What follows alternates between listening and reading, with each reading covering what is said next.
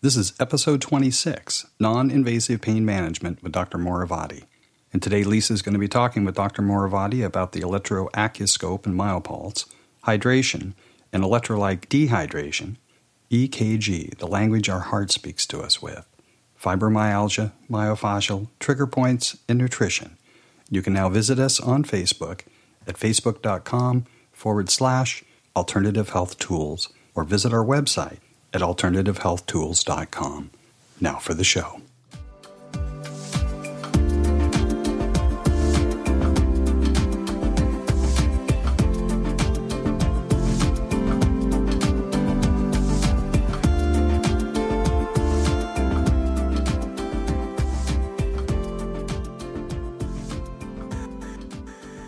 This is Lisa Thorpe with IntellBio and Thorpe Institute of Integrated Medicine. Today, as we talk with Dr. Morovati from the Morovati Wellness Center in Glendale, California, I want to give full disclosure that Dr. Morovati is on our advisory board with IntellBio. He's been working with the technology that we distribute uh, as well as the new technology that we are distributing. He's been working with uh, the original versions for over 20 years, and he's been working with us and the new technology now for about several months. So while normally we don't talk about uh, my my businesses today, we have both the opportunity to speak with an expert in wellness and health, but also someone who is doing an amazing job with the technology that I love. Good morning and welcome back. This is Lisa Thorpe with Thorpe Institute of Integrated Medicine, IntellBio, and this is the Alternative Health Tools podcast. This morning we have Dr. Ben Morovati on the line with us remotely from Glendale, California. And Dr. Morovati has the Morovati Wellness Center. Uh, he is a chiropractor. Dr. Morovati, thank you so much for being on the line and being with us this morning. How are you? Good morning, and thank you for having me. It's a pleasure. You're so welcome. We always just let our practitioners or health experts talk about what they do and how they help people. So maybe you can share a little bit about your practice in Glendale. Okay, I am a chiropractor. However, I've interested myself in what I call non invasive pain management uh, by utilizing the electroacuscope and myopulse. Um, I've studied under Janet Travell, MD, um, and I incorporated her teachings in non-invasive pain management with the use of the electroacuscope and myopulse. So I've sort of come up with a method that's somewhat unique to myself, but I've been sharing it with a lot of practitioners, and the outcomes have been wonderful. Uh, we get excellent results uh, in a short period of time, and uh, we're very pleased with that. And I know on your website it says uh, that people can expect to come for only a, you know a few to possibly several sessions, which is uh, different than most chiropractors who have you have their uh, patients coming back regularly. Correct. Correct. What I try to do from the onset is come up with a niche and a, a different way of approaching aches and pains. And you know, you can go anywhere for a number of times to have a number of treatments, but if you stand out, then you know you don't have to market yourself as much. And and uh, ultimately, I'm after outcomes a lot more than I am with volume, which actually helps increase the volume in, in a funny way because people like what they see and uh, referrals keep pouring in. But we have patients that we treat once, and they we do callbacks on all patients, and they tell us that the one time helped them and they're pain free. And we have patients that may take up to six to nine visits.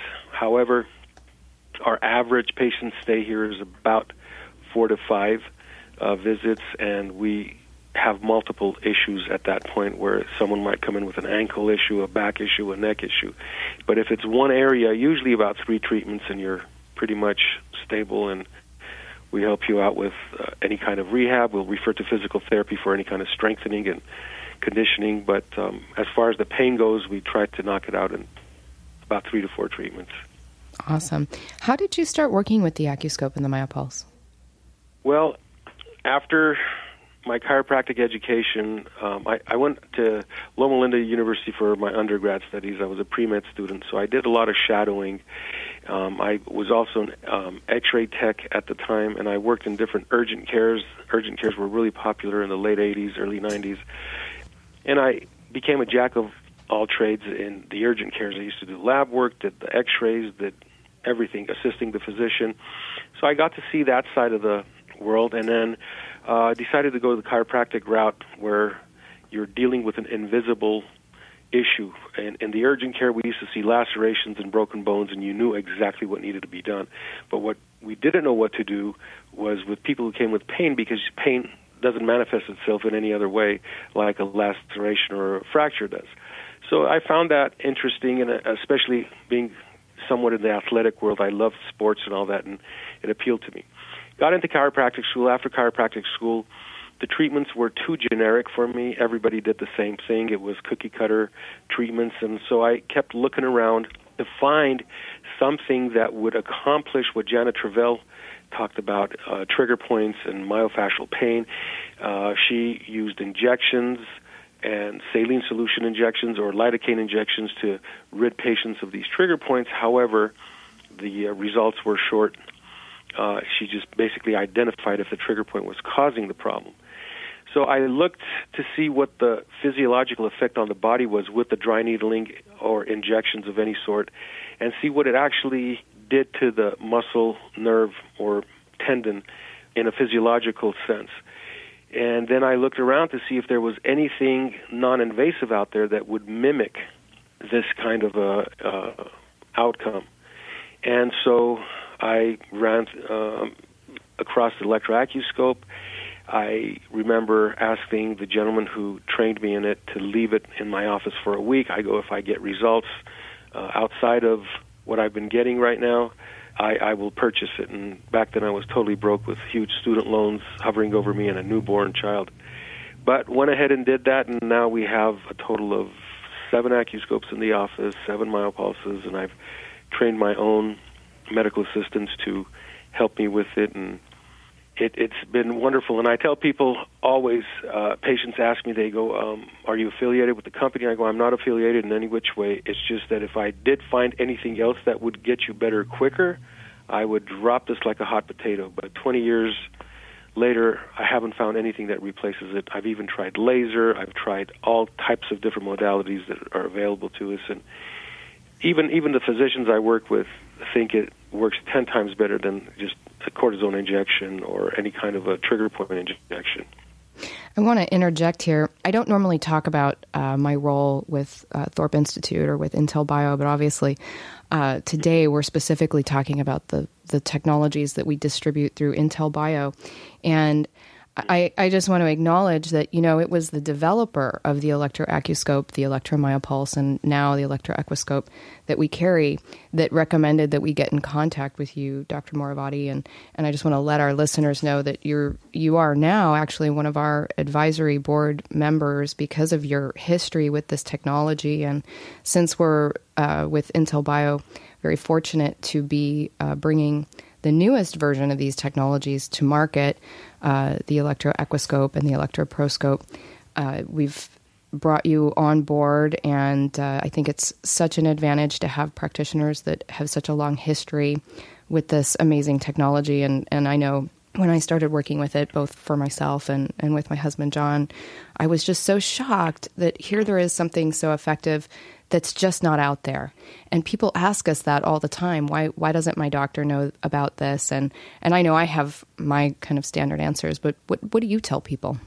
Um, I tell people that I really don't understand why it's not taught in every medical school, physical therapy school, chiropractic school, acupuncture school, dental school.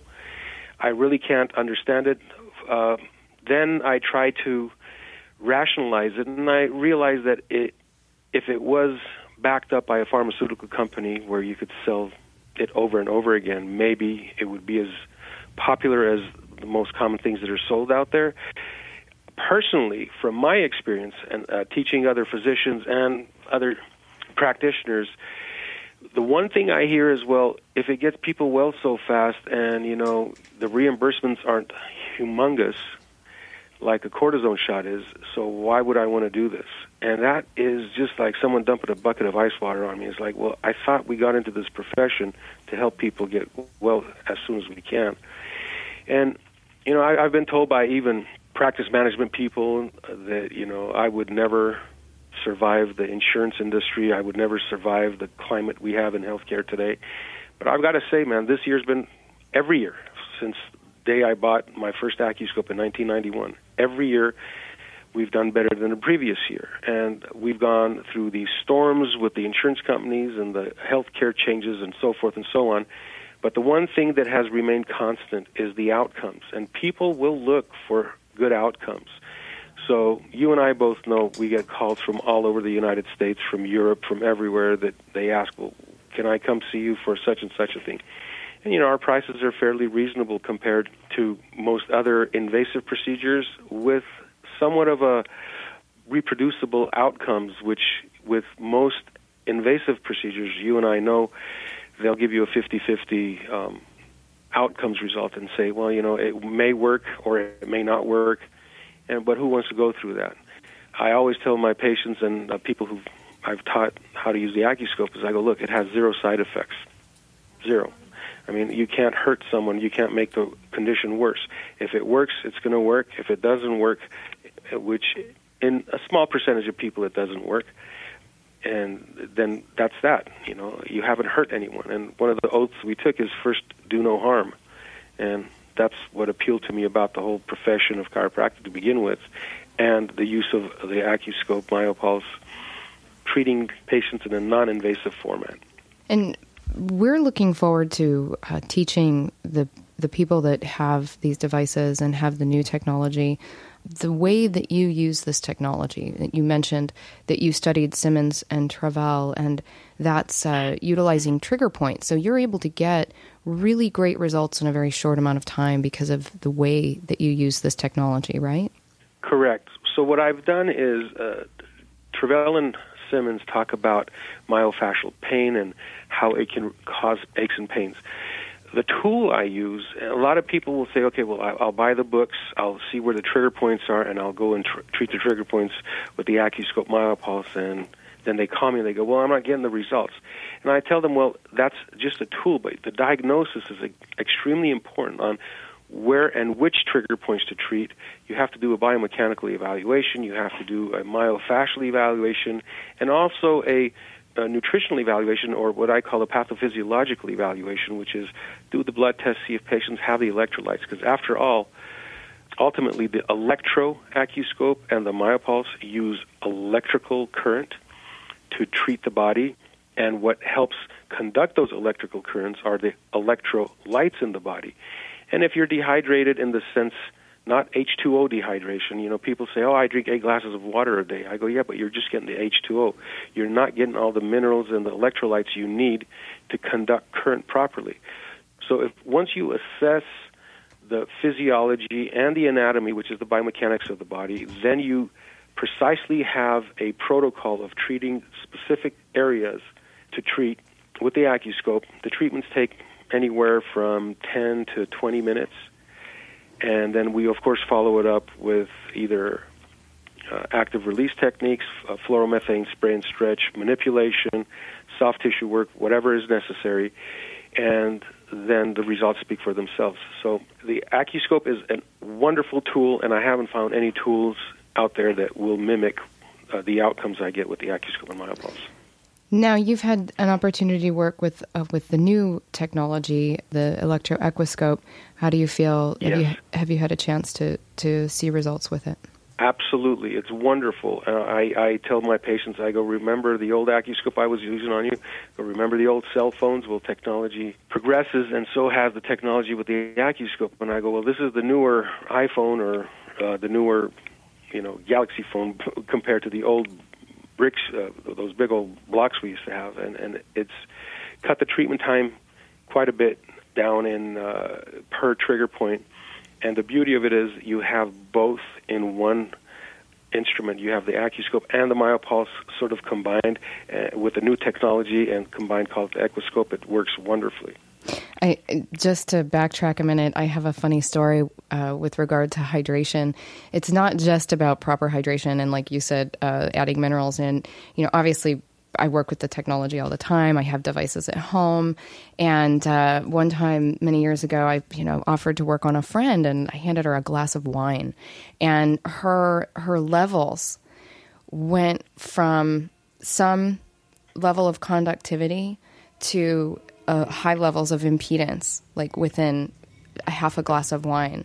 And I was amazed at how quickly her body's uh, conductivity dropped out just from that half of glass of wine. And it made me realize, you know, here, you know, and I'm not saying wine is a bad thing, but when we drink alcohol, uh, the body obviously is going to use all of its hydration to flush. It is a neurotoxin to flush that alcohol out through the liver, and uh, it and and so that's another thing. It's not just about staying hydrated; it's being aware of the things that dehydrate us uh, very quickly, and. Um, especially for because I know you know this particular podcast will send out to our network through IntellBio and and our folks through Thorpe Institute who've worked with this technology for many years and and I want to let them know that coming up, we're going to be offering a, a program, and you're actually going to be teaching your methodology of the use of the Acuscope MyoPulse and now the Equiscope.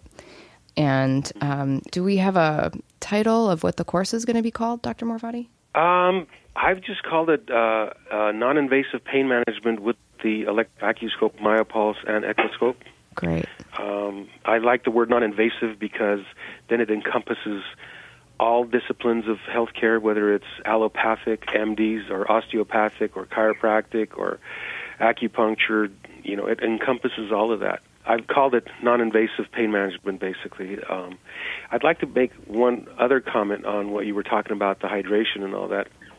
Um, I, I worked in urgent cares and ERs for a couple of years, and I tell patients, I go, the first thing that happens when you go into the ER, regardless of what your condition is, is what? They start an IV on you. I go, what do you think is in that IV? One of them has sodium chloride in it, their, which is salt, and they're electrically charged particles, sodium and chloride, positive and negative ions.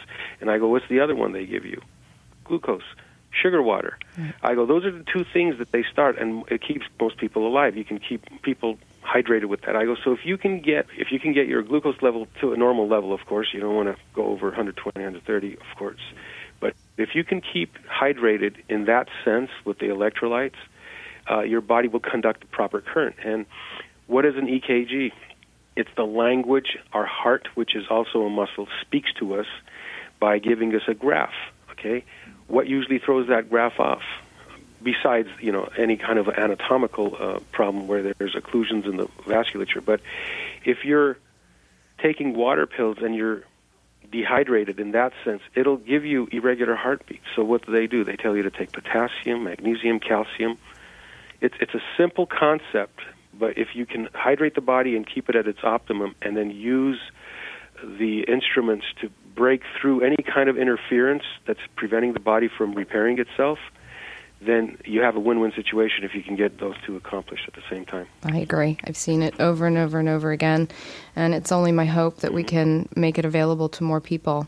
So, we always ask practitioners a number one health tip or health tool for people that are listening. And I noticed on your website that you actually have a list, which is awesome. You know, not all practitioners have a specific list of here are the things you need to do. And so you have a lot of great tips on there. But if you had to pick one, what would be the one thing? I'm guessing it might be what you just said, but go ahead and tell me. Well, it's nothing new. It's it's something that everyone knows. It, it, the one thing encompasses sleep well, eat well, and um, exercise. You know, if the body, I tell people, is 75 to 80 percent water, and I go when water runs down a stream or or uh, off a cliff, we say, man, look at that beautiful spring water. You take that same water and put it in a, a non-motile place like a, a swamp, then it becomes a stinky thing. It's the same water. So body, the body's 75 to 80 percent water. If you move, and how do you get it to move by proper sleep and nutrition? And how do you get proper nutrition? Eat right, of course. And uh, once in a while, we have external traumas and uh, things that happen to the body that cause interferences. And with the instruments, you're basically ridding the impedance, the interference that's caused on the cellular level to bring back the health. I tell people the instruments aren't magic. All they do is they just get rid of blockages. They normalize tissue, and that's that's. I hope that answers the question. Yes, yes. Uh, one more thing before we wrap up. I know uh, you've got to go. Um, what what inspired you to get into the health field? Um, my mom. Your mom. Um, she kept she kept going to the doctors and she'd come back and she goes they say i don't know what's going on it's probably your nerves or or or something and i i go well there's got to be an answer to some something i mean not that she was a hypochondriac and she went all the time but when i was a child back then there was no diagnosis such as fibromyalgia but then finally she got diagnosed as having fibromyalgia. And I began reading more and more when I was a pre-med student about fibromyalgia and I wanted to see you know if I could come up with the missing link here and then fibromyalgia, as you know, one of the huge components of fibromyalgia is myofascial pain and trigger points. And the other component is nutrition. And, and then you have hormonal balances and all that other stuff, which is functional medicine. We've got into that as well. And the gut so health, yeah. The answer to your question is my mom. Yeah. That's beautiful. Well, I so appreciate you coming on this morning and talking well, with us. It's been my pleasure. Yeah, and um, we're going to send this out to our network with IntellBio. So, all of our folks with IntellBio and Thorpe Institute, we want to give you a, a heads up that we're going to be doing a, a, training or a workshop with Dr. Morovati. That'll be something um, that'll be offered. Uh, not just to them, but to other people. So you can check back. We'll be sending out information in the coming months about that. We're really looking forward to it, and and I'm so grateful to have you on our advisory board with IntellBio, Dr. Morovati. You've got such an amazing history and honor and privilege. Thank you. Such great work out there, getting great results for people. So thank you again, and uh, you have a, a my wonderful pleasure. Thank you. A wonderful day. You this is too. this is Lisa Thorpe with the Alternative Health Tools podcast. Thank you.